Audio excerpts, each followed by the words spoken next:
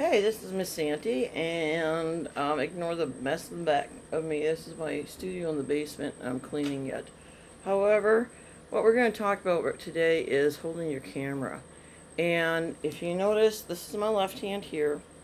So I hold it underneath the lens like this. This does a couple different things. First of all, it's sort of a tripod hold. It's a more sturdier hold. It's a sturdier hold and it's more secure for your camera. It also cuts down a lot on your camera shake. And you can also go and use your fingers to change your telephoto and your focus. You don't have to um, move your hands too much. If you do a manual focus, manual telephoto, and also if you do a manual camera and you have your f-stops, your f-stops would be here, you would change it that way. Alright, so, so holding it with your left hand like this, it does several things. If you're left-handed, then that would be your right hand doing this and, and you would just switch it around or get used to doing it. Alright, holding your camera like this is not very sturdy and it goes and it causes a lot of camera shake. Okay, so you do want to get used to holding it this way. This hand here helps just to steady it and it, you use it to change your controls up here. So if you're using f-stops, digital cameras, a lot of them are through here. And here's my button for um, snapping my pictures, so I can do that. Now, if you notice, this is horizontal. So it's like that, right? Here's your square thing, or your rectangular um, picture, and so everything's going to be crossways like um, like a landscape. All right. If you want to do a portrait hold, you're going to turn it sideways.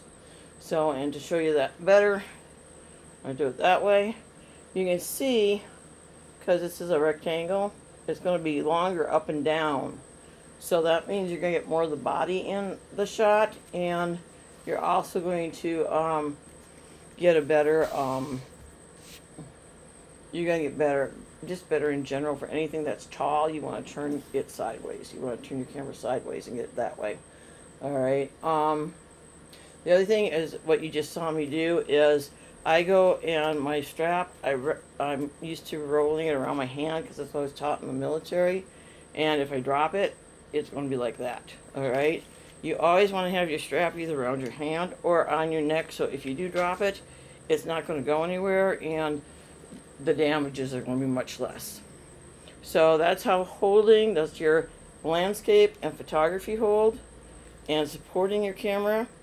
The other thing you want to do to decrease camera shake is pull your elbows into your body as far as you can. And when you snap your picture, you're going to hold your breath. So if anybody goes hunting, it's like shooting a gun. If you go and if you don't hold your breath, your bolt's going to go off everywhere.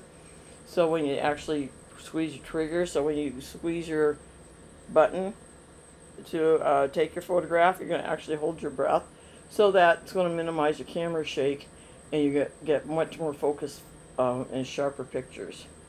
If you're noticing that a lot of your pictures are coming out a little bit um, shaky or out of focus, even just slight focus, it's probably camera shake. So that's the first thing you want to get rid of is your camera shake. And the other thing is get used to holding your camera in the ways you should be.